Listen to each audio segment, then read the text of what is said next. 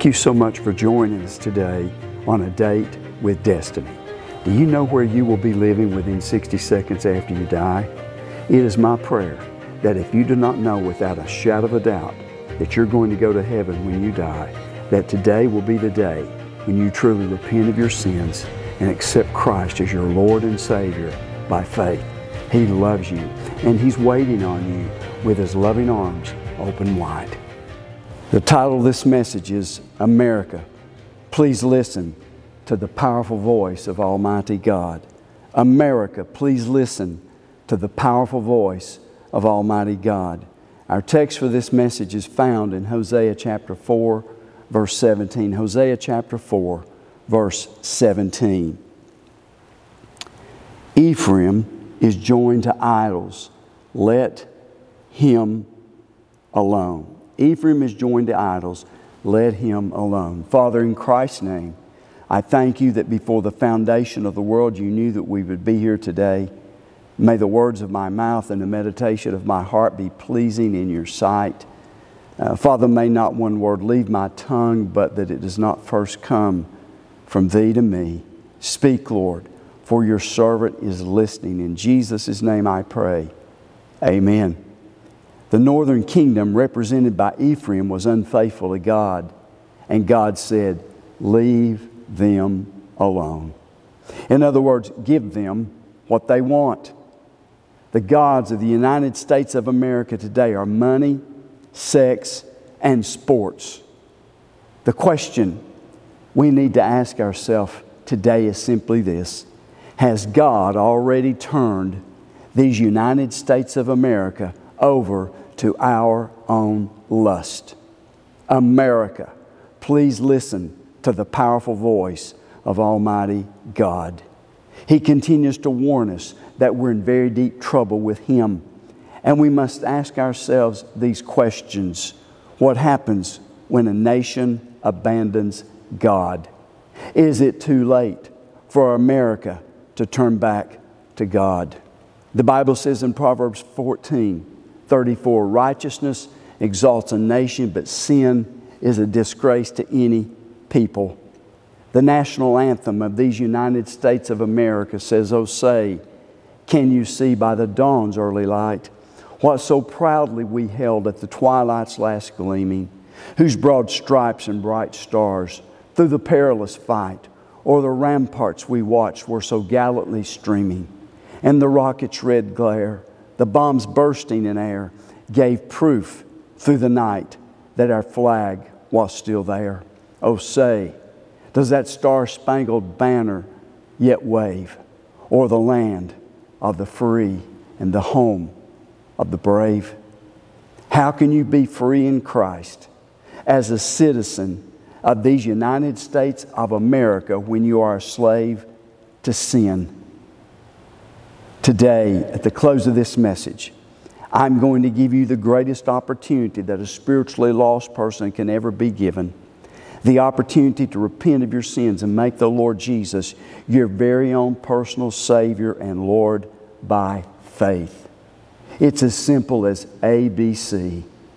You're watching today and you've never really and truly repented of your sins and accepted Christ as your Lord and Savior by faith. All you have to do is to admit that you're a sinner. The Bible says in Romans 3:23 that we've all sinned and come short of the glory of God. We're born into sin because of the sin of Adam and Eve, the first man and the first woman in the Garden of Eden. Everything was perfect, it was paradise. And they disobeyed God, they sinned against God, and sin came into the world. Therefore, we are all born sinners. We must realize that we're sinners, admit that we're a sinner. We must admit our need for the Savior. We must admit our need. Oh, Jesus, say, Lord Jesus, I need you today. And then you must believe. Believe that Jesus died on the cross for your sins. The Bible says in Romans 5 8 and 9, but God commendeth his love toward us, in that while we were yet sinners, Christ died for us. Much more than being now justified by his blood, we shall be saved from wrath through him. God showed his love for us by sending his one and only Son, Jesus, to die on the cross for our sins. He loves us that much today. He loves you that much today. So much so that if, if you were the only person to have ever been born, He still would have sent His only Son, Jesus, to die for your wretched sins. So you must admit that you're a sinner. You must believe that Jesus died on that cross for you, that He was buried in a borrowed tomb for three days, and after three days, God brought Him back to life. That's called the resurrection. And then you must confess Jesus as Lord. You must confess Him as Lord. Romans 10 9 and 10 says, For with your heart you believe unto righteousness, and with your mouth confession is made unto salvation. Do you believe that Jesus died for you, that He was buried in that borrowed tomb for three days? And after three days, God brought him back to life. That's the resurrection. We celebrate that at Easter time every year. And then one of the greatest verses ever written is Romans 10 13. For whosoever will call on the name of the Lord will be saved. All you have to do today is to call on the name of Jesus, and He will save you today. America, are you listening to the powerful voice of Almighty God? If you've never really and truly been born again, today is the day for you to make the greatest decision that a spiritually lost person can ever make. Repent, turn from your sins, ask Christ to forgive you of your sins today. Author Jim Black gives us 10 warning signs of a culture, of a nation in crisis in his book titled When Nations Die. First of all, the crisis of lawlessness. The crisis of lawlessness. Secondly, a loss of economic discipline, a loss of economic discipline. Thirdly, a rising bureaucracy, a rising bureaucracy. Number four, decline of education, the decline of education. Number five, a weakening of cultural foundations, a weakening of cultural foundations. Number six, a loss of respect for tradition, a loss of respect for tradition. Number seven, an increase in materialism, an increase in materialism. Number eight, the rise in immorality, a rise in immorality. Number nine, a decay of religious belief, a decay of religious belief. And number 10, a devaluing of human life, a devaluing of human life. Mr. Black wrote this book in 1994. How prophetic. Ted Koppel, who founded the news program Nightline, said many years ago, and I quote, the Ten Commandments are not the Ten Suggestions. What are the Ten Commandments? Number one, God says, You shall have no other gods before me.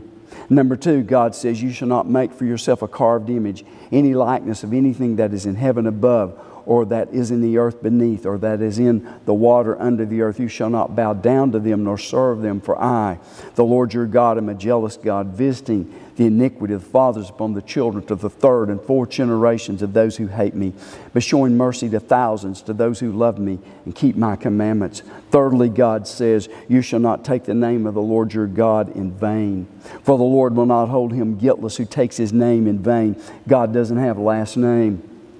Number four, God says, Remember the Sabbath day to keep it holy. Six days you shall labor and do all your work, but the seventh day is the Sabbath of the Lord your God. In it you shall do no work, you, nor your son, nor your daughter, nor your male servant, nor your female servant, nor your cattle, nor your stranger who is within your gates. For in six days the Lord made the heavens and the earth, the sea, and all that is in them, and rested the seventh day. Therefore the Lord blessed the Sabbath day and hallowed it. Fifthly, God says, Honor your father and mother, that your days may be long upon the land which the Lord your God is giving you. Number six, God says, You shall not murder. You shall not murder. Seventhly, God says, You shall not commit adultery.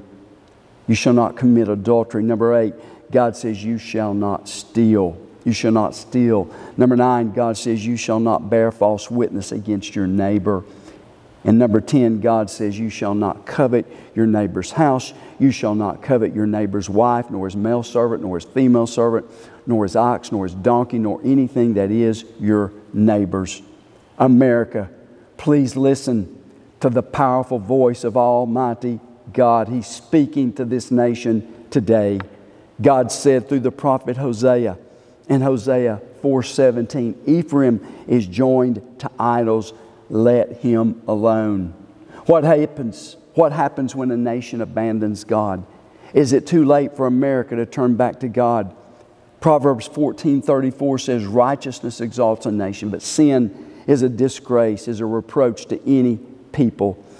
245 years ago, the United States of America began a journey and called itself One Nation Under God. We have become so entrenched in achieving the American dream of health, wealth, and time to enjoy them that we've drifted off course. We've not heeded the road signs, the Ten Commandments, and we've lost our way. The United States of America, a nation that was predestined by Almighty God to be a shining light to all nations, has fallen off a moral precipice into an immoral abyss. We are a disobedient people in these United States of America. We're compromising people. We're committing adultery and calling it an affair in Exodus chapter 20, verse 14. We're killing babies through the process known as abortion and calling it family planning. Jeremiah 1 5, Psalm 139, verses 13 through 16. We're handing out condoms to our teenagers and then telling them to have safe sex in Exodus chapter 20, verse 14. We're committing spiritual adultery as Christians, whoring after the evangelical gods of big budgets and big buildings, and then disguising it with evangelical jargon in James 4 4. We're giving our stamp of approval to homosexuality and calling it an alternative lifestyle. Leviticus 18 22, Leviticus 20 13, Revelation 21 27, Romans 1 26 and 27, 1 Corinthians chapter 6, verse 9. We're allowing women to fight in war, to preach the gospel, and to be deacons and calling it equal rights in 1 Timothy chapter 3, verse 2. We're killing the elderly and the terminally ill and calling it death with dignity in Exodus chapter 20, verse 13. We're electing public officials who are amoral, meaning they have no morals, and then we state, well, it's always been this way. We're throwing God out of every area of public life in the nation which He predestined to be a shining light to all nations, and then calling it separation of church and state In Matthew chapter 5, verses 13 through 16.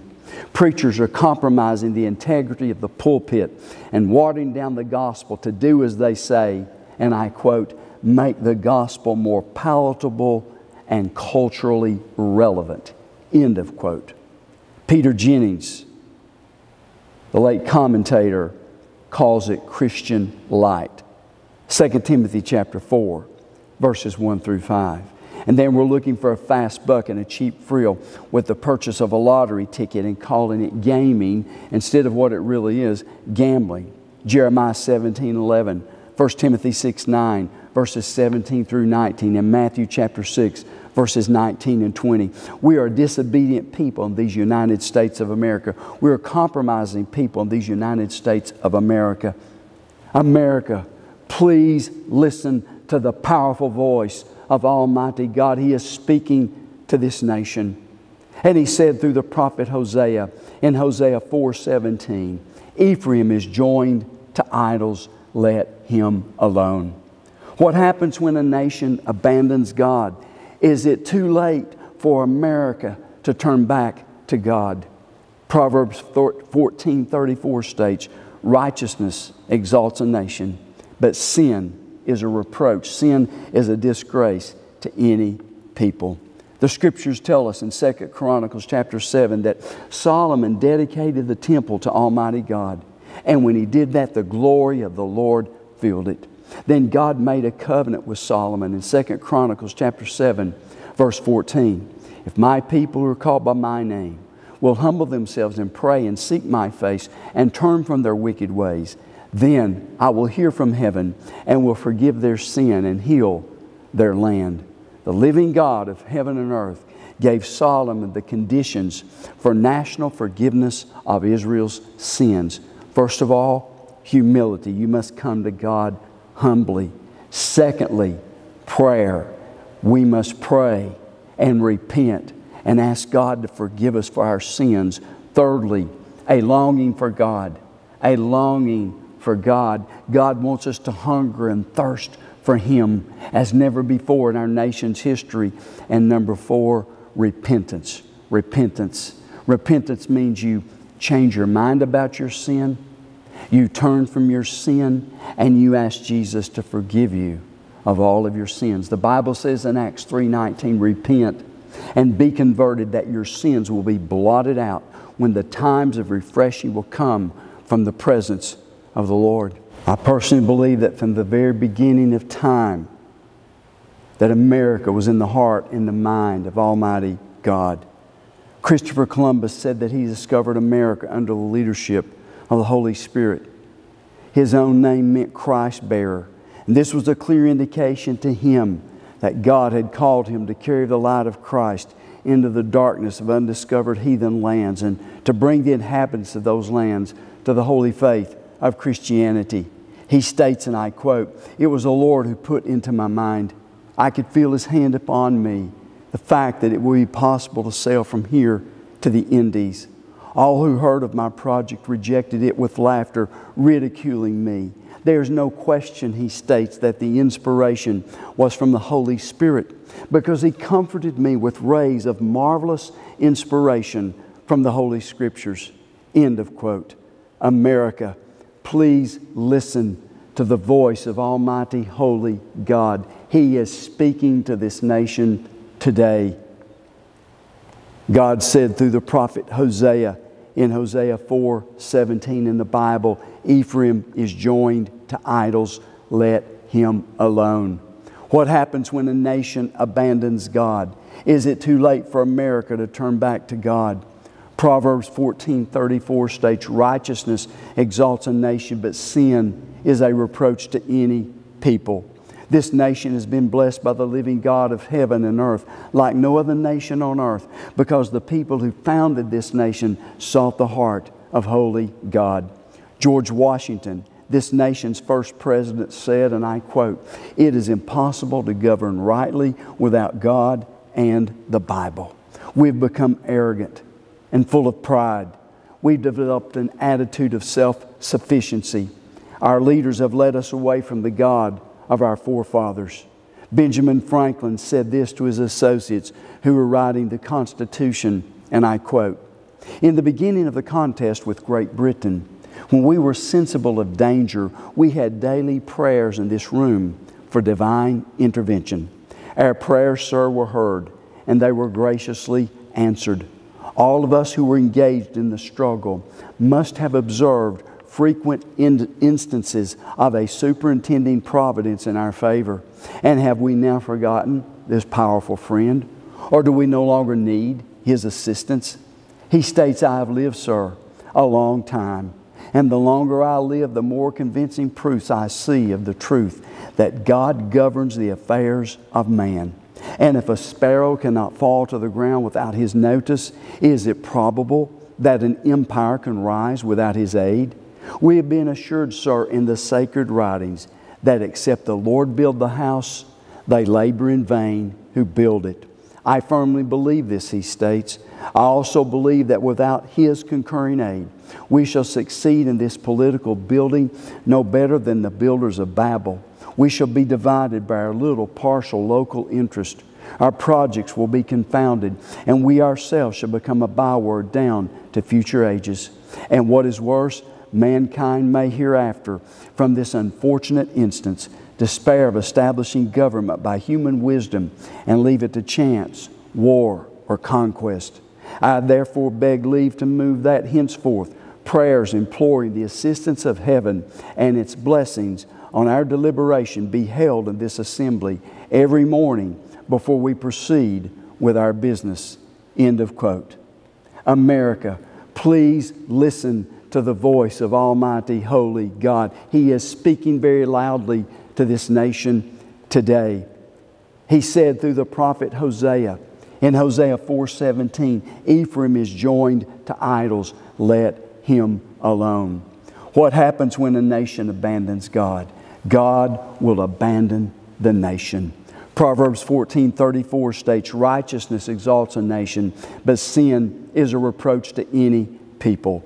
C.S. Lewis in his book The Problem of Pain states and I quote, "The lost for, enjoy forever the horrible freedom they have demanded and are therefore self enslaved." Dr. John MacArthur states and I quote, "The major point of Romans chapter 1 verses 24 through 32 is that when men persistently abandon God, God will abandon them. Listen to the words of the Apostle Paul in Romans chapter 1, verses 24 26 and 28. Therefore, God also gave them up to uncleanliness in the lust of their hearts, to dishonor their bodies among themselves. For this reason, God gave them up to vile passions, for even their women exchanged the natural use for what is against nature. And even as they did not like to retain God in their knowledge, God gave them over to a debased mind to do those things which are not fitting. Dr. MacArthur goes on to say even when God's own people ignore and disobey Him, He may temporarily abandon them. In Psalm chapter 81, verses 11 and 12, God states, But my people would not hearken to my voice, and Israel would have none of me. So I gave them up under their own heart's lust, and they walked in their own counsels. Hosea reports the same tragic reality concerning the unfaithfulness of the northern kingdom represented by Ephraim to whom God said in Hosea 4:17 Ephraim is joined to idols let him alone in his message to the high priest and other religious leaders in Jerusalem Stephen reminded them of when the ancient Israelites rejected the Lord and they erected and worshiped the golden calf while Moses was on Mount Sinai he states in Acts chapter 7, verse 42 Then God turned and God gave them up to worship the host of heaven. That is, the demon inspired deities that they had made. Paul declared to a pagan crowd in Lystra in Acts chapter 14, verse 16, who in bygone generations allowed all nations to walk in their own ways. When God abandons men to their own devices, His divine protection is partially withdrawn. When this occurs, men not only become more vulnerable to the destructive wiles of Satan, but they also suffer the destruction that their own sin works in and through them. I do not care what any religious leader, any business leader, or any politician, or any president, or any dictator anywhere in the world has to say. Homosexuality is not God's design. It is a perversion of God's original design for sex between a man and his wife only, and it is perverted by the devil. It is the devil's design. Leviticus 18:22 states, "You shall not lie with a male as with a woman. It is an abomination." Leviticus 20:13 states, "If a man lies with a male as he lies with a woman, both of them have committed an abomination." It is sexual perversion in its highest form. 1992, I met one of the finest men I've ever known in my life, and I'll never forget. He looked at me on that day and he said, Jeff, I'm not a Christian man. I know there's a God, but I'm not a Christian man. On weekends, my wife and I travel. That's our time together, our time off. He said, What do you think about homosexuality?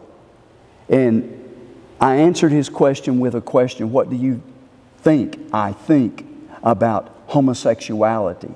He said, Oh, you're a Christian. You believe the Bible, so you believe that is wrong. I said, You're exactly right. He said, You know, I don't ever read the Bible. But I have this beautiful house here in the woods, and I watch these animals all the time. He said, I've never seen two male squirrels mate. I've never seen two female rabbits mate. He said, homosexuality just doesn't make any sense to me. End of quote. If you're teaching children that God does not mean for them to be the sex that they are, shame on you. Shame on you. Saint Ignatius of Loyola said, and I quote, Give me the child for the first seven years, and I'll give you the man. End of quote. 1 Corinthians chapter 6, verse 9. Paul asks the question, Do you not know that the unrighteous will not inherit the kingdom of God? Do not be deceived, neither fornicators, nor idolaters, nor adulterers, nor homosexuals, nor sodomites, nor thieves, nor covetous, nor drunkards, nor revilers, nor extortioners will inherit the kingdom of God.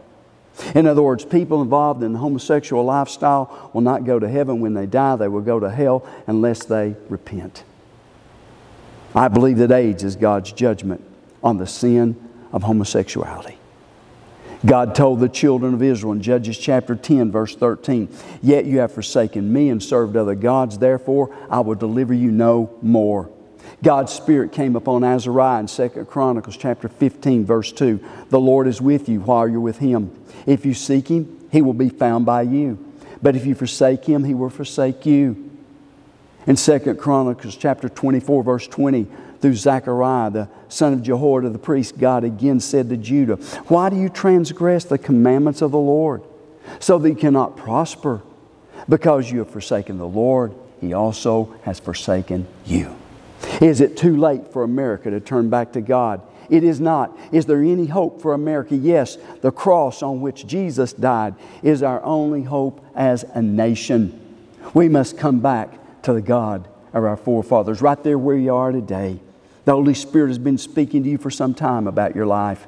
And today is the day for you to repent of your sins and accept Lord Jesus Christ as your personal Lord and Savior by faith. I want you to pray with me right now. You just stop and pray with me right now. Dear Lord Jesus, I know that I'm a sinner and I need your forgiveness. I know that you died on the cross for me. I repent. I turn from all my sins. Please forgive me. I now accept you as my Savior and I follow you as my Lord. Come into my heart, Lord Jesus, and save me, I pray. I give to you, sweet Jesus, complete control of my life. Thank you for saving me.